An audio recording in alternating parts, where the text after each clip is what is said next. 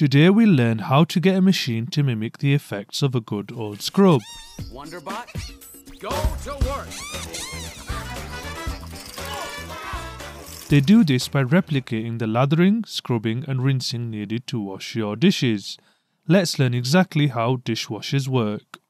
To put it simply, dishwashers take in water from the supply line which is then mixed with a special detergent designed to remove food deposits. This mixture is heated and then sprayed at high pressures on the crockery to remove the tough baked on stains. The water is then pumped out through the waste pipe carrying all the gunk with it.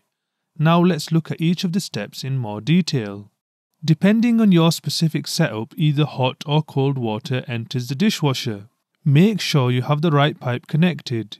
Newer models, especially in Europe, are usually connected to cold water inlets. Hooking up the dishwasher to the wrong pipe can drastically affect the quality of the wash, and it could even result in damaging the internals of the system. Please make sure you check the manual for your specific model if you're unsure. The water enters via an inlet valve, which controls the rate of filling, ensuring the right levels of water are in the dishwasher during the cycle. This is a very important function, as having the incorrect water levels can result in ineffective washing, when there either isn't enough water to remove debris from the dishes or there is too much water resulting in over dilution, a waste of water and energy. Having the wrong amount of water can even cause damage to the dishwasher itself. This is why there's also usually a backup water level sensor sitting at the bottom of the basin. It uses a float connected to a valve which stops the flow if water exceeds a set level. This is the same mechanism you'll find in a toilet. Comment below if you want to know how they work. You normally can't see this basin as it's located under the false bottom. Inside you'll find a heating element which heats up the water to the levels set by the user interface, usually above 60 degrees Celsius or 140 degrees Fahrenheit. These temperatures are much higher than what you can achieve in hand washing, and it has a dual benefit of sanitizing the dishes by killing any bacteria and making the fat and grime easier to remove by melting the grease. Some dishwashers also use steam for the same reasons. A secondary function of the heating element is drying the dishes by heating the air at the end of the cycle. An electric sump pump pushes the water through the pipes into the rotating sprayer arms at high pressures. The arms have many holes and are cleverly designed to allow the force of the jets of water to cause a rotation just like a garden sprinkler. This allows the water to reach every nook and cranny between the dishes. There's usually a couple of these arms in the dishwasher aimed at each shelf. The force of these jets of water plays a major part in removing the gunk and grime. Make sure you load the dishes face down and try face them towards the center so the water can reach the dirtiest part of the dish. Keep taller items on the outside to allow the sprayer arms to spin freely. Also make sure to load the cutlery in the relevant tray or holder and ensure all items are dishwasher safe. Look out for a dishwasher safe symbol on the packaging.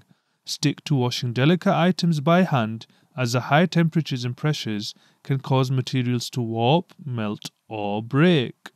The water is only replaced a few times for each load, as the water is recycled through the system, meaning dishwashers can use significantly less water when compared to hand washing. It's amazing to see how effective water is at removing debris when it's pumped at high enough pressures. Tools exist that even cut metal with water. Now, water can flow or it can crash. Be water, my friend. When little grit particles from the detergent are added to the water, this effect is amplified considerably. This recreates the scrubbing from hand washing.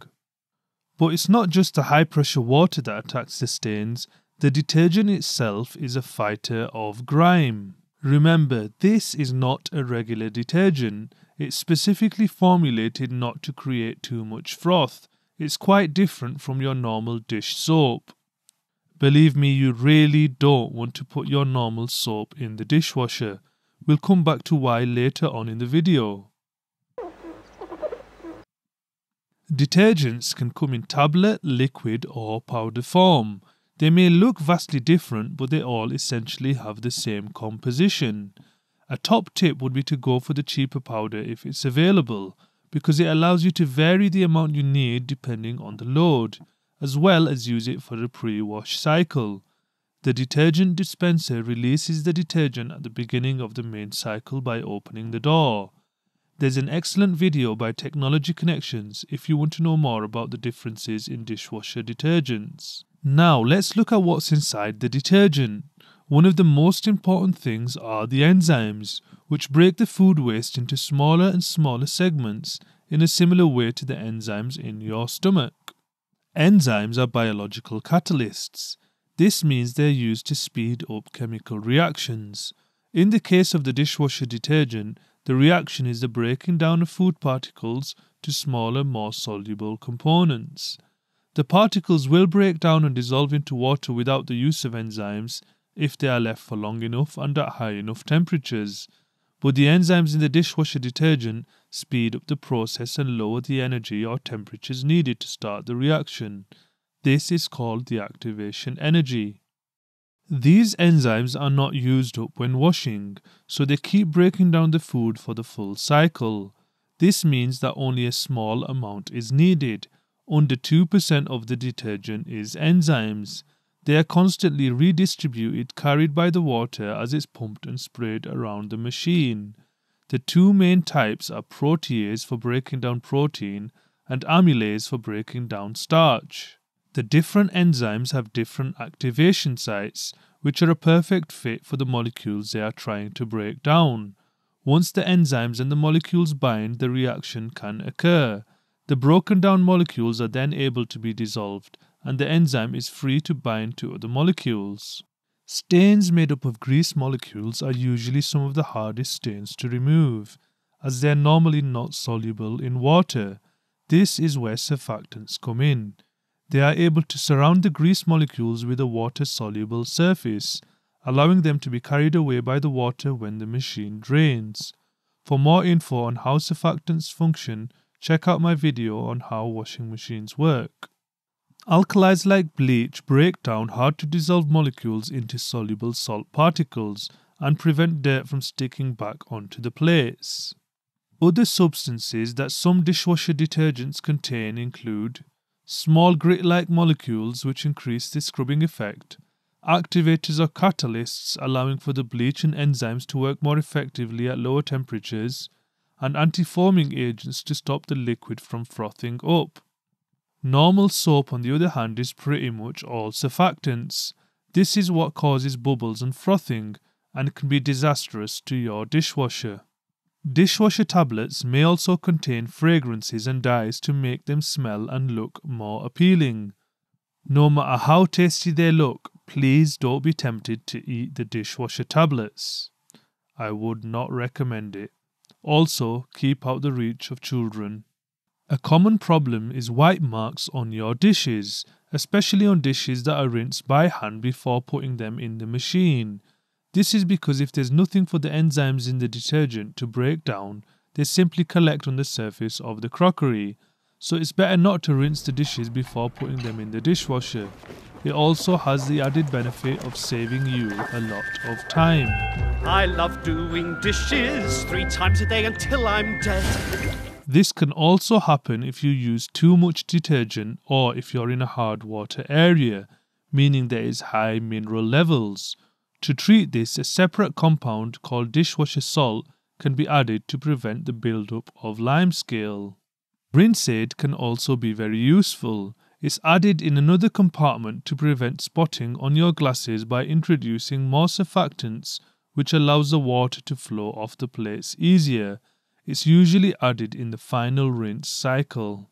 The final piece of the jigsaw is the drainage.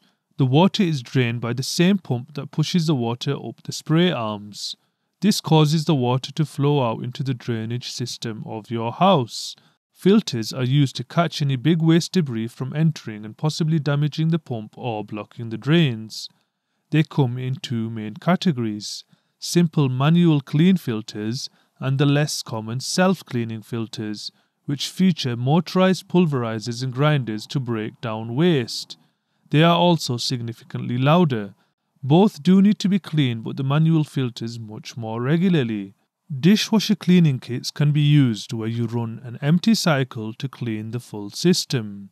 A cleaner dishwasher will give you cleaner dishes. A common mistake is not cleaning the filters regularly or at all. Also, take care to unclog any holes in the spray arms and check for any debris buildup. New developments include sensors which can measure how clean the dishes are by shining a light through the water and measuring absorption. Innovations also include mini countertop dishwashers for smaller spaces or even concealed dishwasher cupboards. Thank you so much for watching. Please like, share, and subscribe if you think I earned it, and give me some more recommendations for future videos.